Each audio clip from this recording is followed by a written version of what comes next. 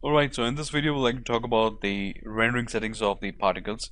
But before we begin with that, we'd like to comprehend the software render particles because these particles are not eligible to get rendered. These are the hardware render particles and we cannot you know just render them with the Maya software or maybe with the mental ray. You could get the render of the particles with the mental ray but not in that you know uh, exact or you can say the proper form according to the production standards. So for that we are required to change the particle type which is right now I have set that thing to the streak which was earlier you know called as a point particles. So in which you can see there is the point appearing in each and every particles. We can play with the point size and all and we can also gonna talk about the streak which is you know very important kind of the particle system and we can also get the exact behavior of the streak into another system or you can say another set of the particle that is called as the tube which we're going to talk about a little later. Well just to talk about a little bit more upon the streak one of the best things regarding the streak is that you know it works totally upon the velocity of the particles. As you can experience and you can see that so the particles here uh, near the tree they they just have you know accelerated and they do have a lot of velocities with them. So these particles are keeping themselves with a little bit more stretchy way. So the streak kind of particle actually takes the advantage of the particle velocity and based upon that it's gonna create the stretchiness. So if I put the tail fade to completely 1 you can see that the particle from the beginning to the end is consistently constant. And we can also play around with the tail size which is you can say 1 is the by default. And here you can see that we do have a lot of particles over here so obviously 1 is quite a big value so I would like to switch to the 0.5 and I think so that would be quite okay. But the only issue is that these particles will not gonna get rendered. So just to make them better and just to you know you can say to to get the rendering of the particles we would like to take care of the you can say the particle render type and would like to change them to the tube so once we get the tube you can see that there's a lot of mess going all around here because it's a kind of a volumetric cloud. And in the viewport 2.0 in Maya 16 we do have a very nice you can say the display of the particles. But the only issue is that we need to you know let them settle. So I need to click the current render type. And here we do have got the radius 0 and 1 that we're going to decide the forward and the backward direction of the streak. So like to get that thing to 0.050 and again to the radius 1 to 050 now you can see that we still do have a little bit more bigger values and I guess so we'll like to go for 3 and 0.030 that is still okay. And I guess I would like to take the tail size back with the 1 it's not a problem and if we're going to go back to the wireframe mode by pressing 4 you can see that there is the linking between the particles. So this is you know representing the streak. In the earlier versions of the Maya you're gonna experience that. If you're gonna take that thing in 2013 or maybe 2014 you're gonna see that there is a kind of you can say the chain system in which the streak the line is there and the particles represented with radius 1 is over here and radius 2 is over here. But I think so after 2015 version they have changed it a lot. If we still want to go to a little bit more less versions you can say the radius size you can see that we can clearly see the streak here inside the particle systems. Now again get back to the I'm gonna press the shading mode again.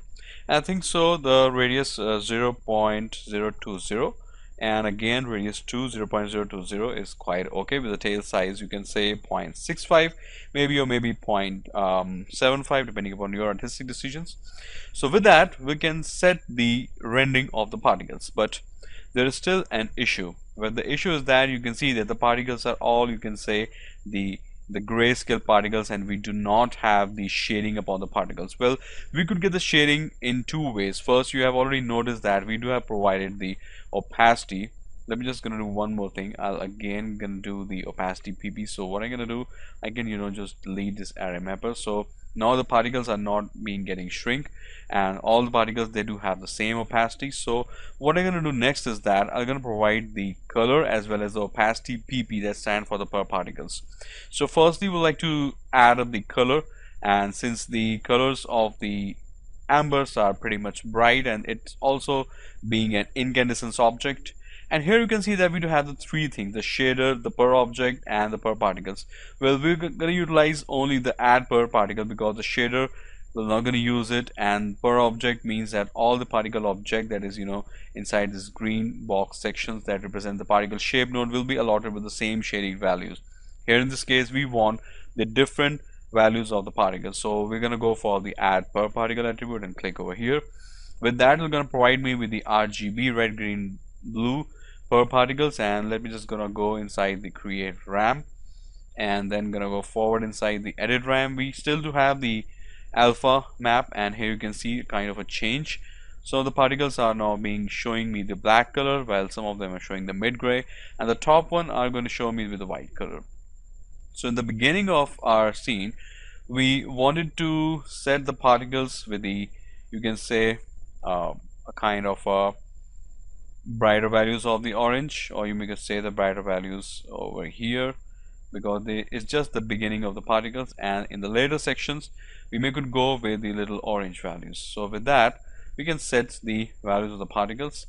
And over here I also like to increase the saturations of the particles. Note that we do have a provisions to edit them later inside the compositions. Okay that is pretty good and let's say we're gonna leave the interpolation again back to the smooth or we could also gonna go for the exponential down. So in that case we do have much brighter values over here okay?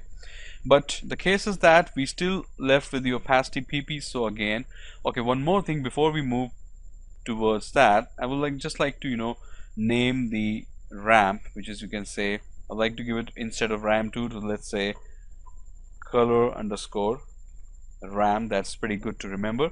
And in case of the opacity we're also going to name that. So under the opacity tab click the add per particles. And I think so we already do have got the opacity PP with us. So right click and let's say create a ramp and with that again we're gonna have that. This same interpolation which set to the linear two colors that means one is the bright over here. If we're to take that thing over here you can see that the opacity has significantly reduced but that is not the case we want because here the black completely represents the um, you can say the complete dissipation or the fading of the particles which is you know quite an early in in this case. So we like to get that thing to the extreme right corner section and the selective position is also one. And here the interpolation I would like to set to the smooth that is still you know quite a good and make sure that we do have the value here which is selected color set that thing the value 1 and here also we should have the value set that thing to the 0 because if in case we do have the values in the fraction let's say 0.2 0.25 then particles will not going to end up properly. So we do need to uh, be very careful regarding that aspect okay? I hope so that may that is uh, that should be clearly understood to all of you.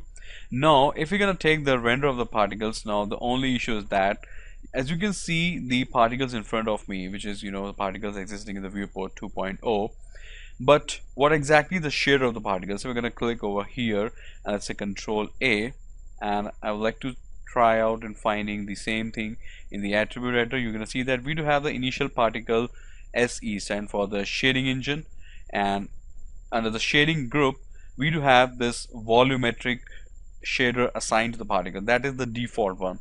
So we'll not want to consider that because particles are you know still here.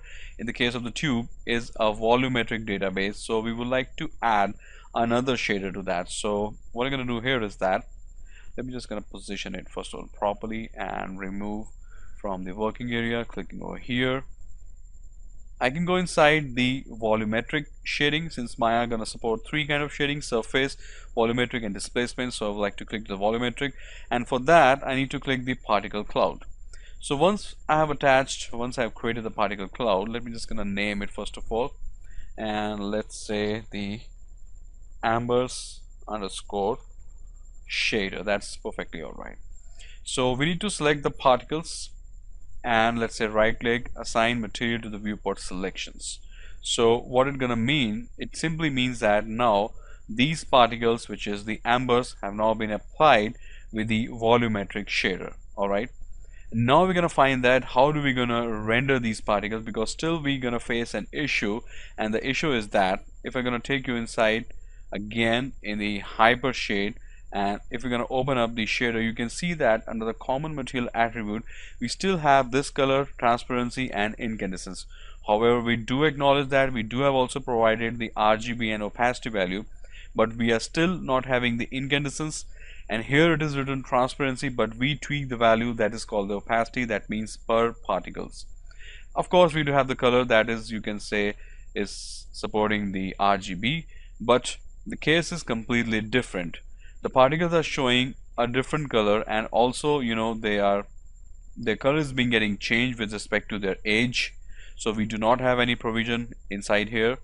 Similarly we do have an opacity which is you can say a float value which represents a single value. But in case of the transparency it is going to give me three values RGB separately. So we need to find a provision for that also. And for the incandescence because the particles you know are self-illuminating objects these ambers they do you can say create the self-illumination properties or incandescence. So we do not have any provision to support the incandescence so what I can do here right now I can select the particles go into the particle shape node and click the general. And inside the particle I'm gonna find something at the bottom side. There's something called as the incandescence PP stands for the particle and click OK so with that we are quite stable enough to create the incandescence inside the particles also. And which ramp we like to add? The same we could add in the RGB that we have already added. So we're gonna go here create the ramp. And since I already named that thing so I'd like to go for the color ramp and click the OK.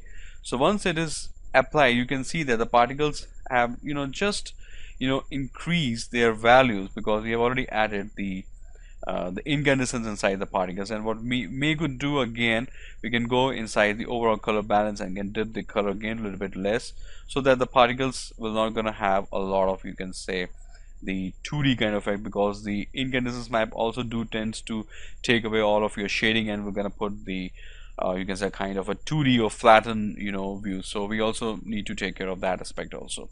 So I guess we are completely done with the process of you know shading our particles and providing the software render particles. But now we are left with the thing which is very important and that is how we're going to translate or you can say pass on the values of the opacity PP, incandescence PP and RGB PP to the volumetric shader that we have already applied to the particles alright so in the next video we'll like to find the the suitable process and we'll like to comprehend the software rendering particle system all right with respect to the volumetric shader. So let's go to the next clip